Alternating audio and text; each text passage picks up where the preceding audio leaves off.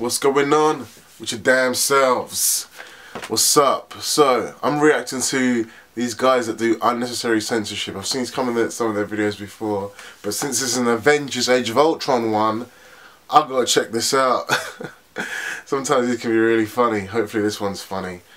So let's do this reaction. Let's go! Is that why you've come? The Avengers. I've come to the world. but also, yeah. Sure. This way, sir? How are you guys planning together? Have you ever had someone take your and play, pull you out, study something else in? You know that I do. Natasha, she's, she's like... I've seen her up close. This ain't that. Are you here to me, Miss Romanoff? Because that's not going to work out for everyone. No, no, of course not. Yeah, they, they must be busy because they'd hate missing you guys together. Testosterone! Oh my oh, God. Excuse me. Time. Where? I'll tell you on the way. You fly one of those jets? I can. You and I them.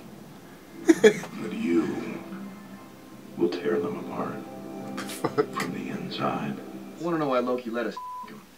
He's not leading an army from here. I don't think we should be focusing on Loki. That guy's is a bag full of cats. You don't know what you're doing. And you do? She's not in your... I know you're angry. No, we're way past that. I could the life out of you and never change a shade. This is exactly what I wanted.